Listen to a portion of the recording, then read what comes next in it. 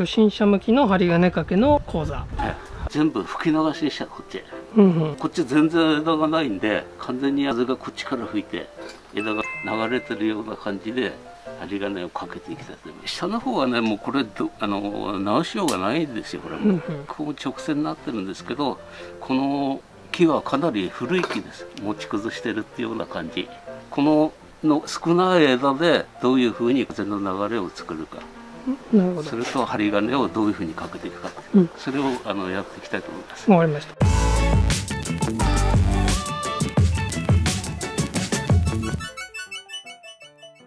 針金かけですよね。針金掛け。でこれかけていきます。あ動産です。はい。でこの動画の後に川崎先生がテクノホルティ専門学校園芸専門学校はいに行ってる動画が見れます。はい。園芸の専門学校に教えに行ってるんですよね。というものを取材してきたので。針金はい。枝と枝をかけ渡す。ここが支えになりますからね、はい。でここが支えになって幹に二回りしてますからでこの枝に入ってくって。それかあとですねここがちょっとここにちょっと入れます。ずっと。あの先端まで通しますか針金を。でこの支えここの部分ですねこれがあの隙間が開かないようにきっちり取っていきます。はい。あの巻く方向はどっちでもいいです。あの木を曲げる方向に巻けばいいです、うん。で角度はこの角度45度。45度。これは大体であの初心者の方ですとうん。ピッチが広いです。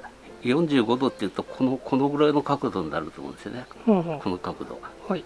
ここの頂点は頂点は90度ですよねこれ。うん。でこの入ってくるとこは45度。このピッチでずっとかけてきます。こうまで来ました。はい。で次の針金が入るんでうんあと二巻き先まで持ってきます。はい。これねもうこれが支えになりますからね。はい。こここれとこう針金がかかってきますから、はい。でこれはあと上へ持ってっちゃいます。それ上に持ってくんですねここへ通しちゃいます芯を。あそしてねあの針金の入れ方ですね。例えばここ枝の下に針金来ています。次の枝もここ下に来てる。これね順番間違えるとこの枝からここの枝へ針金入れるときにあはい。入んなくなっちゃうんですよ。これ上持ってきちゃうとここからここへ入んなくなっちゃう。なるほど。これずっと上持ってきますね。通常は根から一本こう通すじゃないですか。え通す通した方がいいね。ああ今回は幹が曲がらないからうん。途中からやってるってことですね。幹に模様つけんだったらもう下から通してきますけどね。そうですね。ただもうこの幹に模様つけるのは無理だと。うん。だからこの上だけでやってきます。上だけ。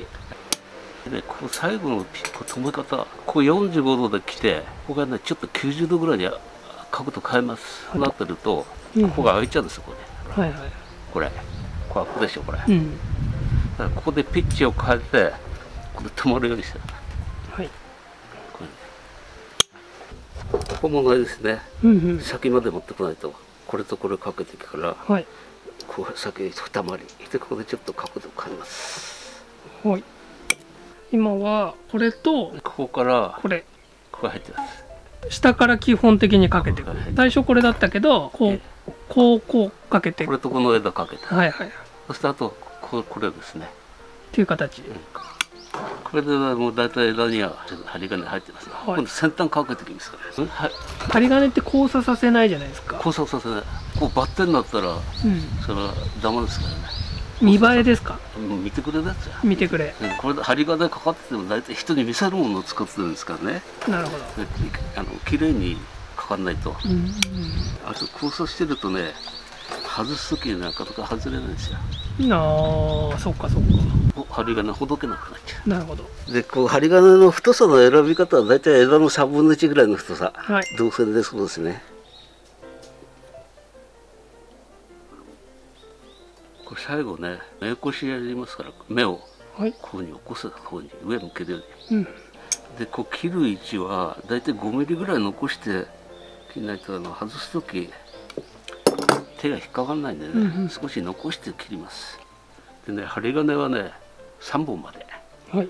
3本以上だと針金だらけになっちゃうから。うんうん。最高3本ですよ。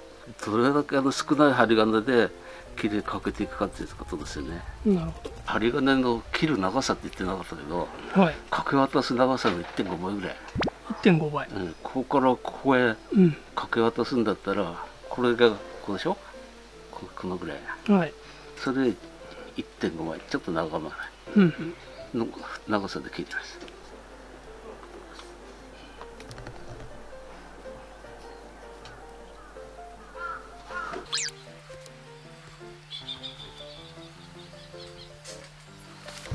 やっぱ最初にどことどこをかけるってき考えるんですか？順番はねうん下から下の枝から。この枝をかけて次にこれを渡してこれ一本通しましたけどね。一番下からかけていきます。奥から。一番奥の枝からかけて。このこの辺からかけちゃう人いるんですよ、うんうん。そうするとここからこの間が針金入んなくなっちゃう。うん。こういう形ね。ガルメントが入っちゃうと枝をこう30度ぐらいにこう締めてきますからこうそういうのがこういうとこ入っちゃうとここの角度が出ないんですよ、はい。絶対この間には入れるなってから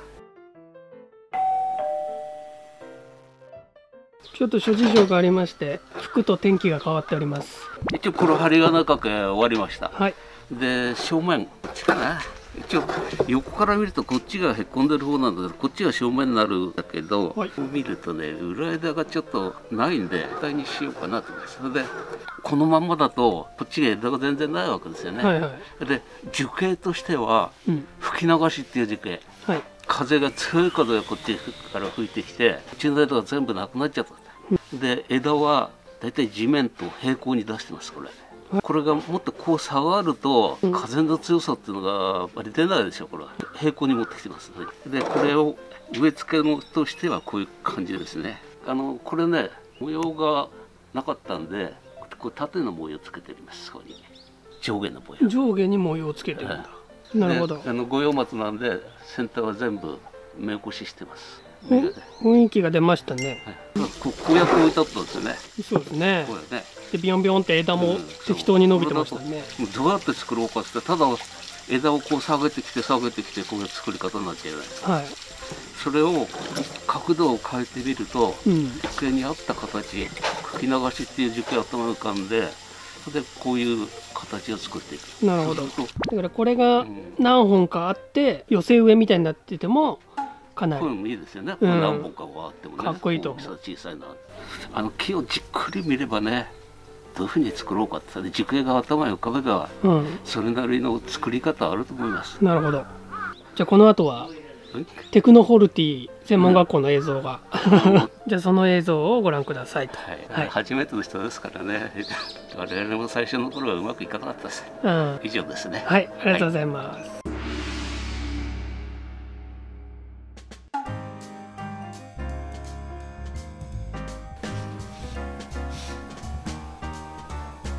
この生徒さんはみんな何なんですか？園芸系の？そうです園芸。あの園芸ってもね、あの日本庭園みたいなの作ったりね、ほんほんあのこ竹の垣なんでしょ？はいはいああいうのも前見たことありますよ。あの文化祭の時。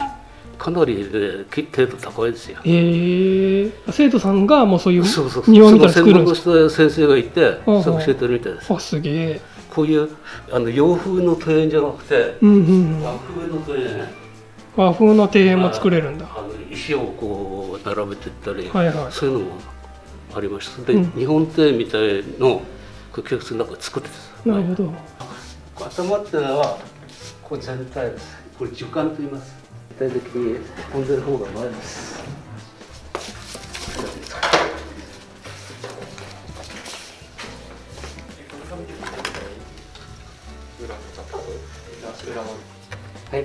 ち巻いてください。角度は45度。45度ね、こっちか。こ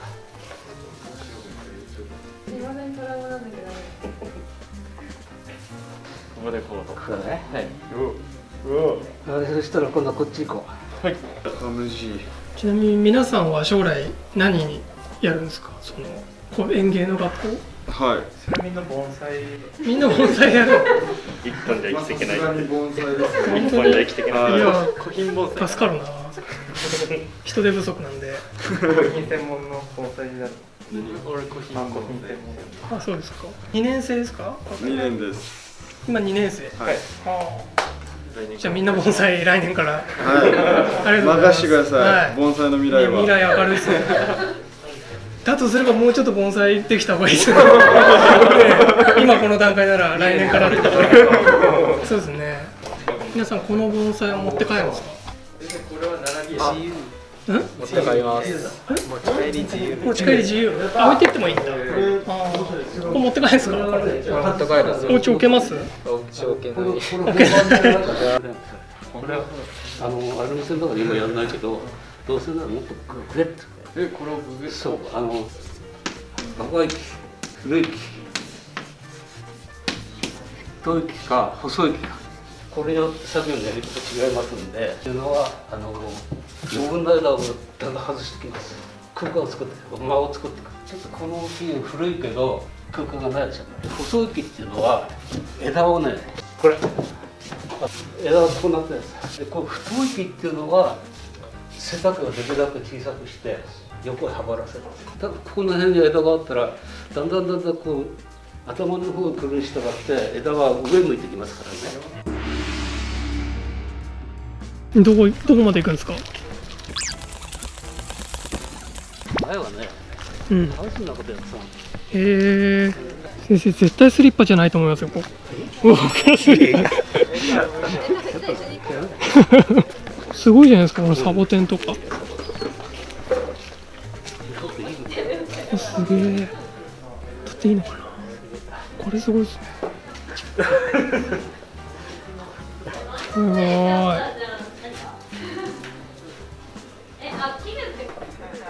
えー、熱帯植物。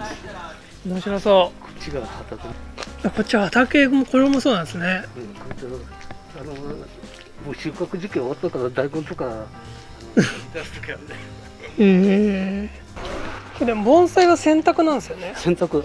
あー何、後期のうん、洗濯科目になってる。何と選べんですかね？盆栽とねうん。生け花があったかいやらいけばなあの色検定とかああいうのがあったんですよこういうのもできると。うん。でタイが1だ1タイ3位